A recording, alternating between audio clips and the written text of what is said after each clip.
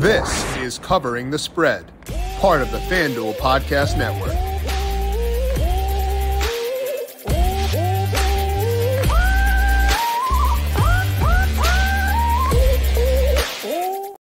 10 game slate coming up in the NBA for tonight, along with three games over in the NHL. We're going to break down both those today with Tom Vecchio picking his brain on player props and traditional market bets across both to get you ready for Wednesday night. This is covering the spread right here on the FanDuel Podcast Network and FanDuel Research. My name is Jim Sannes. I am a managing editor of digital media for FanDuel Research. Joined here as mentioned by Tom Vecchio. Check him out on Twitter at Tom underscore Vecchio1. Tom, pleasure to get you back for today. How was Miami for the bachelor party this past weekend?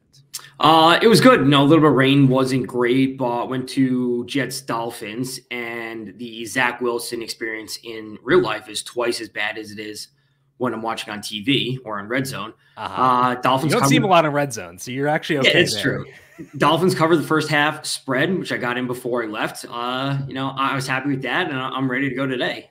Uh, uh, you got to see touchdown Trevor Siemian in person, so I'm jealous of that. Um, nothing else in that game was significant other than Siemian playing. So, you know, I feel like that makes it by itself a good weekend. It was, and you know, the was the long touchdown to Waddle was great. Yeah. Um, yeah, overall good stuff. I did not have as much Waddle for DFS as I should have, so I was actually pretty annoyed when that happened. So that's why I'm focusing on the Siemian thing, disregarding Waddle. You know, we'll just go with that instead. Yeah, uh, I was going to be a, a, lot on Waddle uh, since Tyreek was out, but just in, you know in Florida, didn't get anything in when I was there. Yeah, you had you had more important things going on. Right, that. Right for sure. We're going to break down both the NBA and NHL for tonight by talking to Tom, getting his read on his favorite bets for both those across FanDuel Sportsbook. But first, a reminder to make sure you are subscribed to Covering the Spread wherever you get your podcast. Of course, you can hear Tom later on breaking down the chart or not the Chargers. Chargers were last Thursday. Rams, Rams and Saints coming up on Thursday night football. Maybe Chris Olave in that game got back to practice on Tuesday, which is good to see. Uh, I'll break down that game later on today for Primetime Tom right here in the Covering the Spread podcast feed. Our full NFL Week 16 preview with Dr. Ed Feng is coming up tomorrow here in the same feed. No show Friday because of the holidays. So make sure you're subscribed to Covering the Spread wherever you get your podcast. And you can also find us on the FanDuel YouTube page and FanDuel TV Plus. Score early this NFL season with FanDuel, America's number one sports book. Right now, new customers get $150 in bonus bets with any winning $5 moneyline bet. That's 150 bucks if your team wins. If you've been thinking about joining FanDuel, there is no better time to get in on the action. The app is so easy to use. There is a wide range of betting options, including spreads, player props, totals, and more. So visit FanDuel and kick off the NFL season. FanDuel, official partner of the NFL, must be 21 plus and present in select states. FanDuel is offering online sports wagering in Kansas under an agreement with Kansas Star Casino LLC. First online real money wager only, $5 pregame money line wager required, $10 first deposit required. Bonus issued as non withdrawable bonus bets that expire seven days after receipt. See terms at sportsbook.fanduel.com. Gambling problem? Call 1-800-GAMBLER or visit fanduel.com slash RG in Colorado, Iowa, Michigan, New Jersey, Ohio, Pennsylvania, Illinois, Kentucky, Tennessee, and Virginia. Call 1-800-NEXT-STEP or text NEXT STEP to 53342 in Arizona, 1-888-789-7777 or visit ccpg.org slash chat in Connecticut, 1-800-9 with in Indiana, 1 800 522 4700 to visit ksgamblinghealth.com in Kansas. 1 877 770 STOP in Louisiana. Visit mdgamblinghealth.org in Maryland. 1 800 gambler.net in West Virginia. 1 800 522 4700 in Wyoming. Hope is here. Visit gamblinghelplinema.org or call 800 327 5050 for 24 7 support in Massachusetts or call 1 877 Hope and Y or text Open Y in New York. Now, Tom, let's begin things on the NBA side of things. 10 game slate for tonight in the NBA. Any traditional market bets that stand out to you at FanDuel Sportsbook for tonight? Yeah, let's start off with the Rockets minus three. The Rockets are much improved team this year. I'm not going to say they're great or they're amazing, but they are a, a, significantly better team compared to where they were over the past few seasons. That's very clear. Uh, also, the fact that the Hawks just aren't good. And the Hawks, I think, get a lot of I don't want to say if it's unfair or unnecessary, like hype in the betting lines because they have Trae Young, they have Dejounte Murray, like they have the star power, but they're they're still just like a sloppy defensive team, and they just don't put it all together on a nightly basis. And I also think that this game is going to be trending towards the under. I don't think the Hawks are going to necessarily get a ton of offense going. So I like the Rockets to cover. They they're again they're improved. I think they're trending upward overall. And again, I think the Hawks are a little bit overvalued uh, when it comes to the market overall, where they have these big name players, but it doesn't actually translate to consistent on on court production on a nightly basis the plus three for the Hawks is minus 108 right now at FanDuel Sportsbook. So, um, not, or sorry, the Rockets minus three is minus 112 at FanDuel Sportsbook for today's paying a little bit there at the minus 112 versus a minus 110 for a traditional side, but sounds like it is worth it at least in Tom's eyes. Any other traditional market bets you're eyeing here, Tom?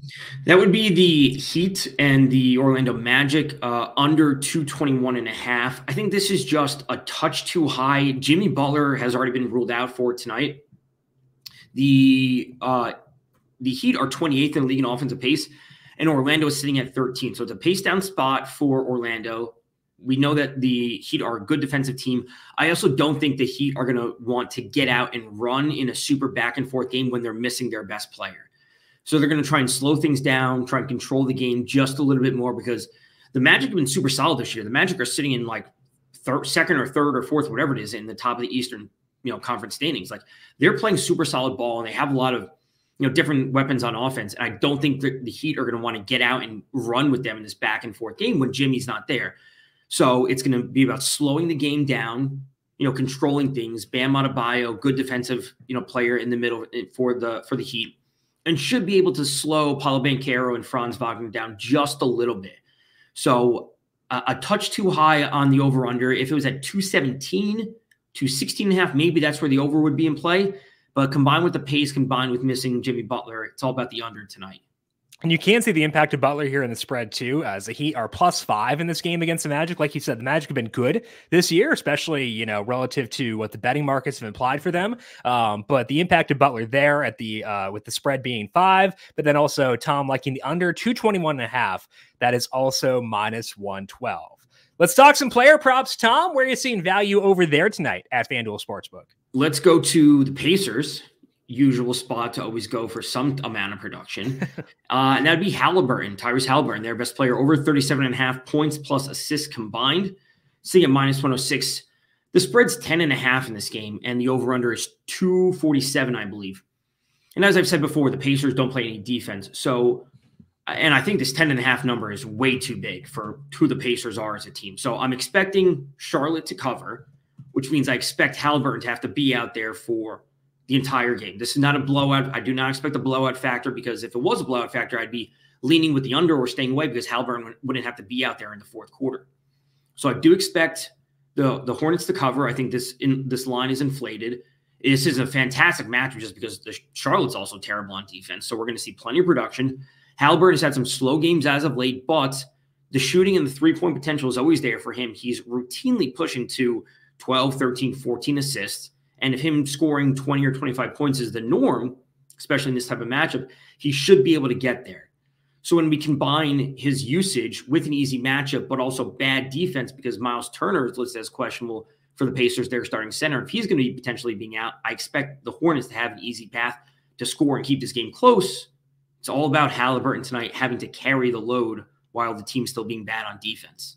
That was points plus assists for Halliburton over 37 and a half, minus 104 at FanDuel Sportsbook. Is this sustainable, Tom? The Pacers play, it seems like, in like insane games every yeah. single night. Like, is that going to be the norm the entire year, or will there be some regression towards like not having totals pushing 250, 260 every night? I think it's it's probably a mix of both, if that makes sense. We're like mm. two, 248, 249, like that's not sustainable, but 237 to 242, like that is sustainable because they they have an awesome offense, especially when they're fully healthy. Sure. You know, Ben Mathurin knocking down shots, Buddy Hield knocking down shots. Like they have the players alongside Halliburton and Miles Turner to like bring the offense.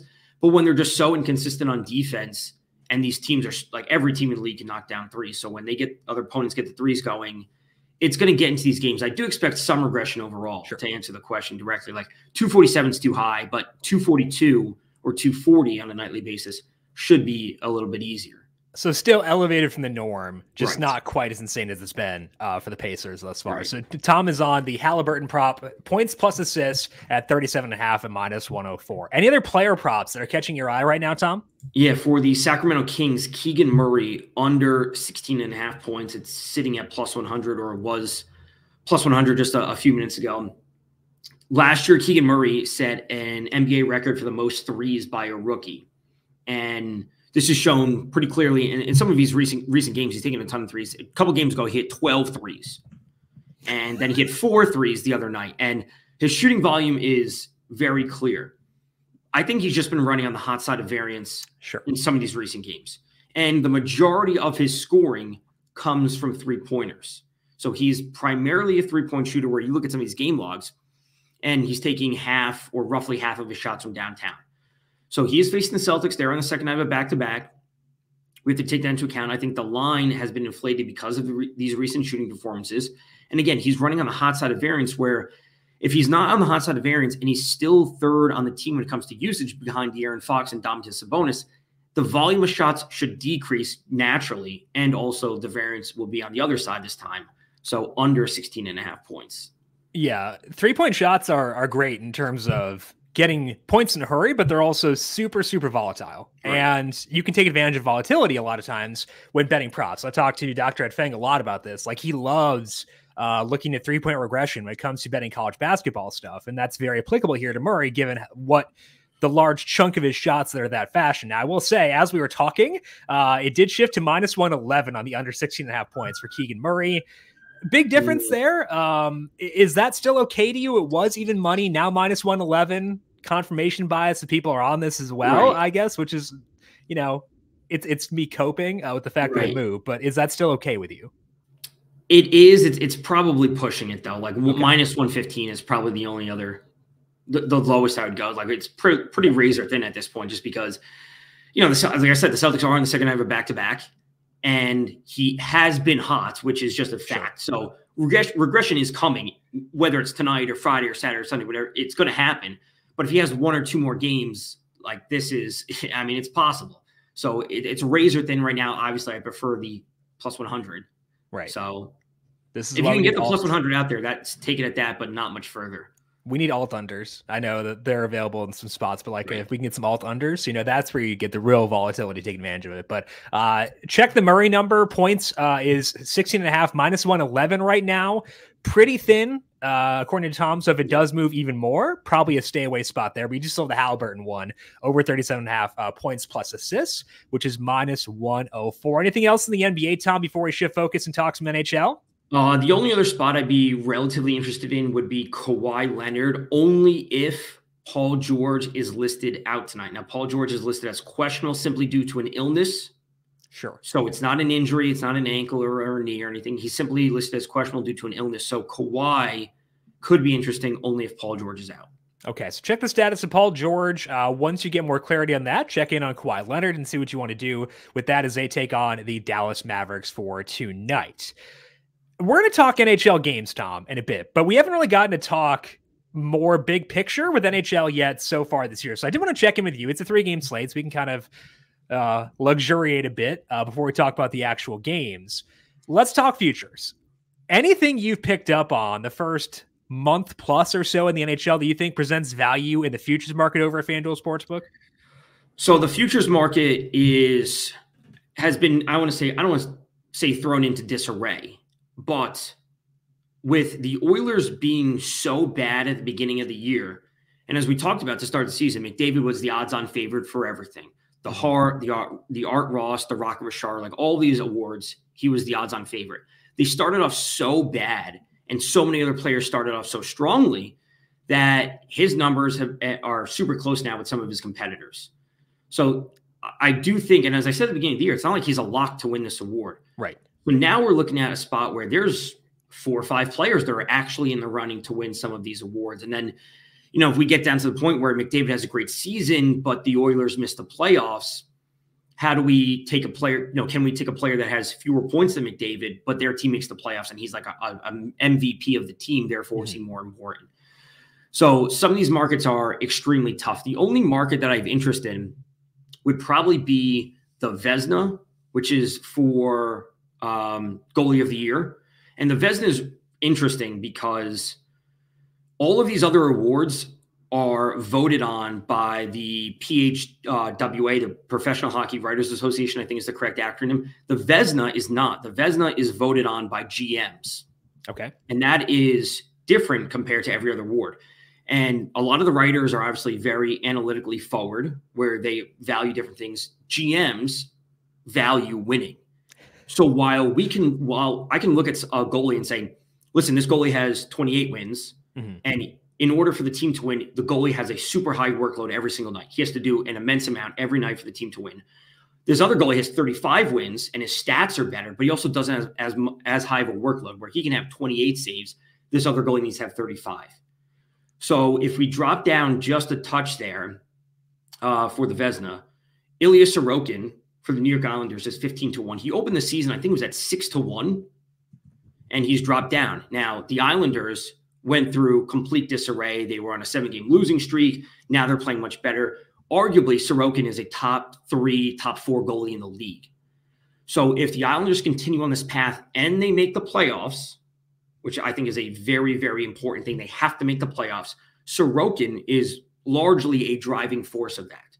So if they can make the playoffs, that means he'll be getting enough wins and he'll have the stats to back it up because his workload is extremely high on a nightly basis because the Islanders give up an immense amount of shots that he's routinely coming away with 35, 40 saves. So you have to you have to be willing to say the Islanders make the playoffs in order to want this bet, basically.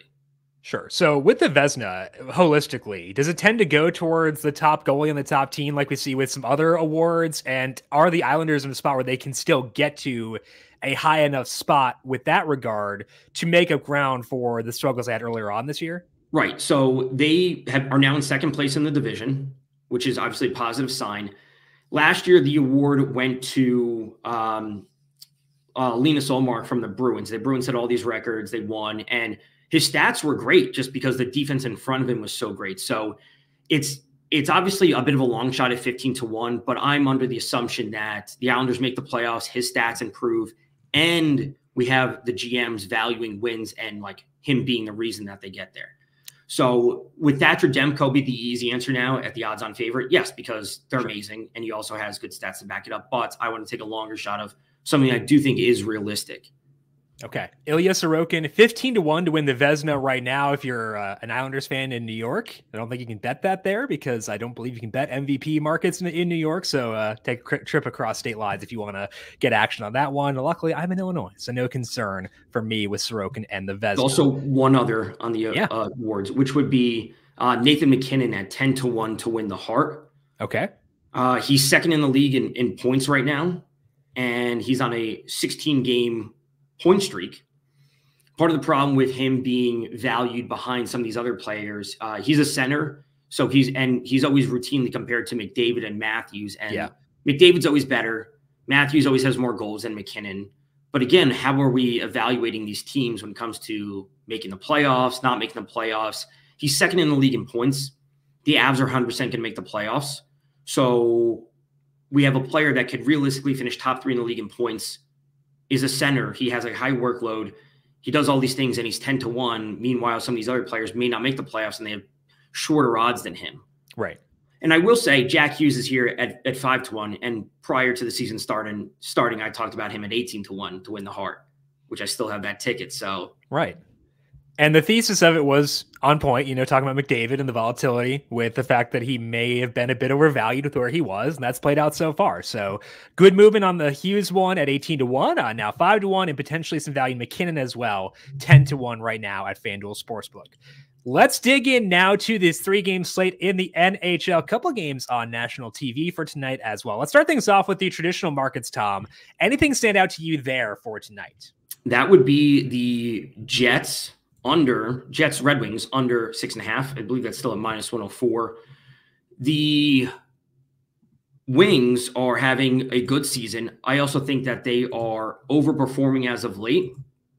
And they're also underperforming in terms of their defense, if all this makes sense. They're overperforming on offense, and their defense is underperforming. The Jets are slightly overperforming on offense. They're also missing their best goal scorer. And I think we have to take all this into consideration when we're looking at a team that's due for regression, both offensively and defensively.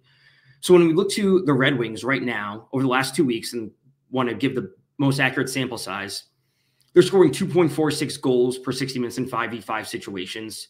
And their expected goals for is at 2.1. Mm-hmm. They're giving up 3.03 goals, and they should be only giving up 2.73 goals. So their offense is overperforming, their defense is underperforming. And then for the Jets, they're overperforming on offense with 3.64 goals per 60 minutes, which is insane. And they're at 2.84 goals when it comes to their expected. So we have these teams that like should be converging in different ways where defense moving down, an offense moving down with a defense moving up, like all these sorts of things. And this is where I like to project forward, not only at a team level, but also at an individual basis when players are underperforming in terms of their individual expected goals. Right. So, and you know, Connor Hellebuyck for the Jets, who should be in net tonight, he's I think he's second on on the Vezina chart. So he's an elite goaltender by every imaginable statistic. And they've been playing super solid defense. So the Jets defense is fine. It's really their offense that has been overperforming combined with the wings. Not a lot of times you get multiple different regression spots all pinpointing towards the same thing, and you get three in this matchup uh, with the Jets and Wings. So under six and a half is, like you said, minus 104 right now at FanDuel Sportsbook. Any other more traditional markets stand out to you, Tom?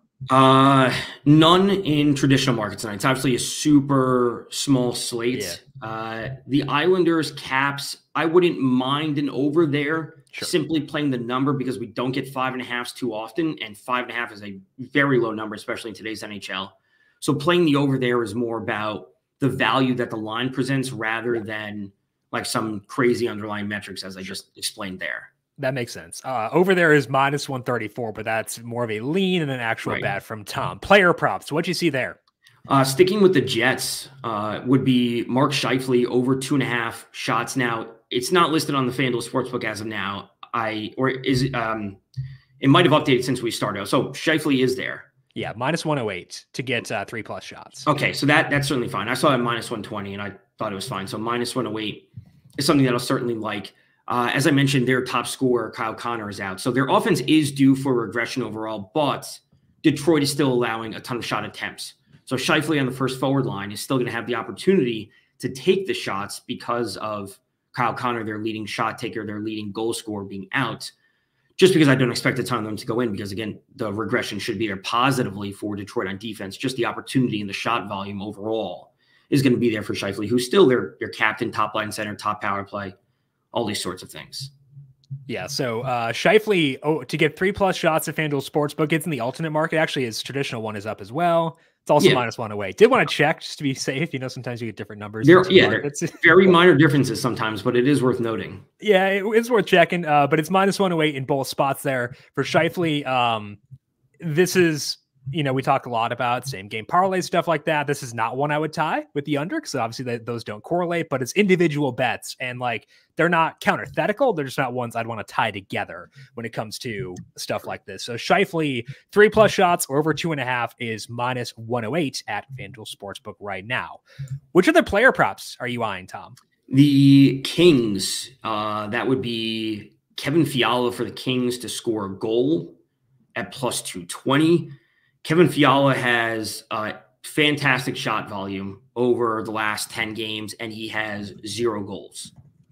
And when you see a player who's playing, uh, you know, on a top six line or a top six forward, he's on the first two forward lines, and he's playing on a power play, and he's routinely ending with three or four shots on goal, which means he has five, six, seven shot attempts, and he's not scoring. And this has been the story for Fiala the entire season. He started off with very few goals. He got hot and then he cooled down again we're looking at uh, a high volume shot taker who's simply not scoring. And this is just, it happens. It's like players in the MLB who have super high exit velocity, but they have all these flyouts to the warning track. It just, it is what it is. It just mm-hmm. happens sometimes. And then you have these players that take, you know, 10 shots over 10 games and they have five goals. And that's right. just obviously also unsustainable.